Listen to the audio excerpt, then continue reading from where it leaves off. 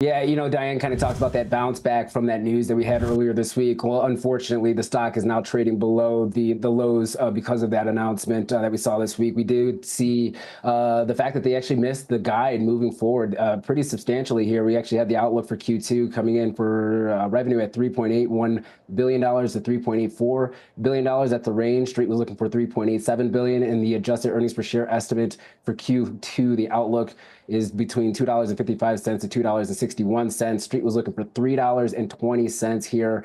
Uh, and they did actually beat both on the top and bottom line for this current quarter here. But they do, uh, you know, discuss the fact that the financial management uh, programs and, and offerings that they have, they've just seen sluggish demand. And they also are going to be readjusting their promotions moving forward, which are we're going to be obviously a driver for top line growth. I think the question looking out, uh, you know, the next year or so when it comes to their guidance is the uh, efficiency measures that Elon and, and, Vivek want to try to implement, and if they are going to try to uh, make it a little bit easier to be able to file taxes and for uh, individuals and corporations to be able to manage their expenses uh, uh more efficiently, right? And that could actually impact their business. So unfortunate, uh, but there's a lot of competition in this space. We are seeing the shares down. Let's see if it's going to be able to recover. Maybe they have, uh, you know, some some bright or positive signs and signals within their conference call.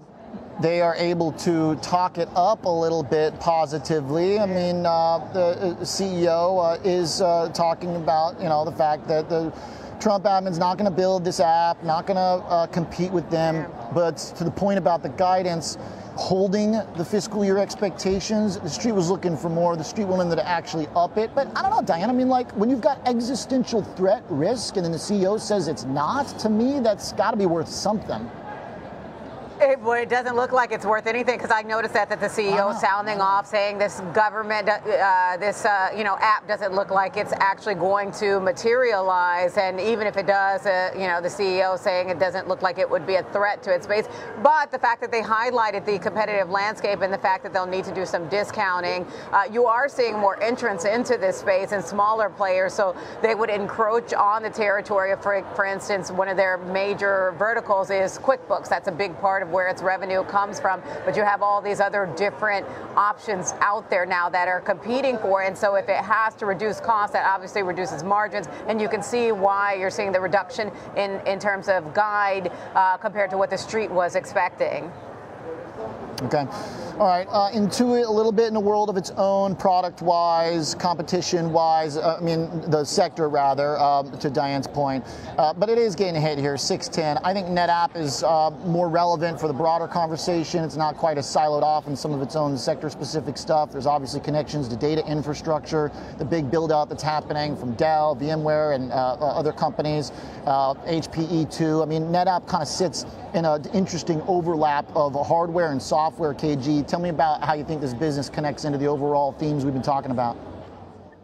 Well, uh, once again, it kind of depends on enterprise spend, and I think that's what's going to be the tailwind for NetApp. And it's been a little bit mixed if you look at the overall, you know, quarter uh, for earnings for from certain players. But as you kind of said, this is kind of the, the right blend. They have the hardware side as well, the software side, which is also pushing margins here. And that's exactly what they call out. They call out the fact that second quarter margins uh, set a record. And so they're looking at non GAAP operating margins sitting at around 29%. When you're looking at their guidance moving forward uh, for a Q3, they actually beat both on the top and bottom line there, especially the bottom line guidance. They're looking for $1.85 to $1.95 for adjusted uh, earnings per share for Q3. Street was looking for $1.85. So this is exactly the report that you'd like to see. We're seeing the shares pop. Uh, and once again, this is a, a healthy blend. Now, there's been companies that have been hit because of enterprise spend slowing down and being refocused and, and repurposed for other areas. It seems like NetApp has been able to uh, capture both the software and the hardware side of this AI story. Okay, uh, well said on the cloud and enterprise spend, AWS, Google, all clients. Uh, NVIDIA does sell a little bit of hardware to uh, NetApp, but it's like a fraction of their revenue. Uh, the connection to Amazon, Microsoft, and others are really important here. So as long as the numbers uh, don't bomb, which they absolutely did not here, uh, Diane, I think it's a pretty good fresh dose of continuation in the AI theme, data center theme, etc. Exactly.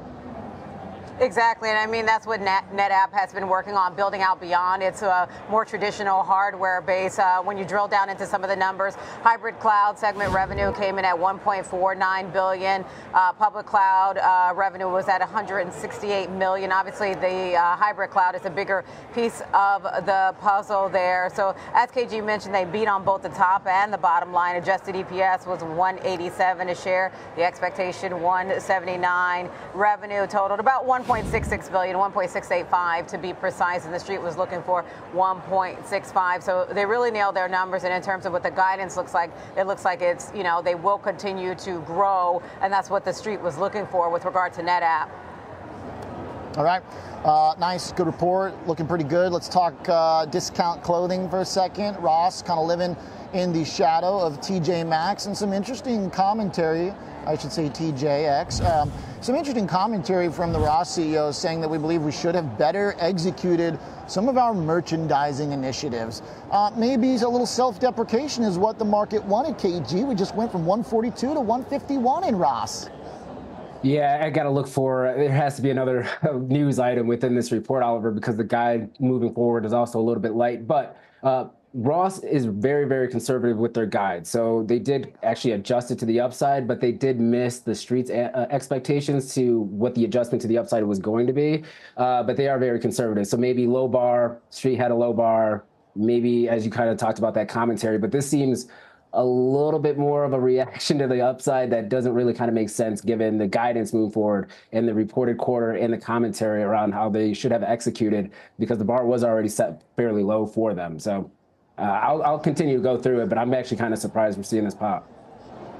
Yeah, I think, uh, I think being what low. that is really about is. Sorry, go, Go ahead, ahead, Oliver. Sorry.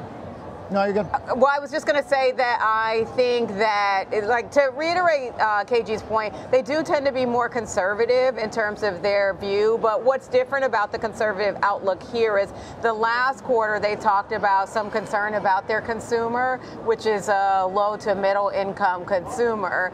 And they talked about mm-hmm. that consumer being more stretched.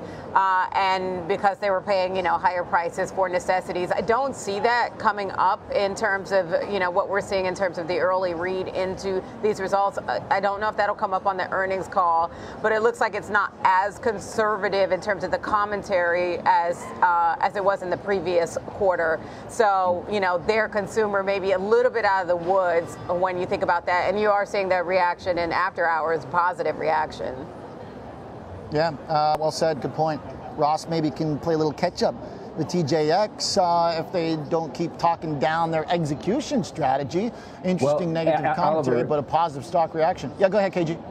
Yeah, yeah. You know, uh, they did make some commentary when it came to the uh, freight costs, distribution costs were actually a lot lower than what they expected. So maybe that is the tailwind. They were able to manage those expenses, and those have been, uh, you know, pressures for them for a very long time. So that really kind of offset the, the weak sales that they had on the top line and actually boosted their margins for the quarter to 11.9%. That was up from 11.2% last year. So that's a bright sign. I mean, you didn't get top line growth, but if your long-term costs are kind of going down when it comes to managing inventory, that kind of tells you a little bit of a story there.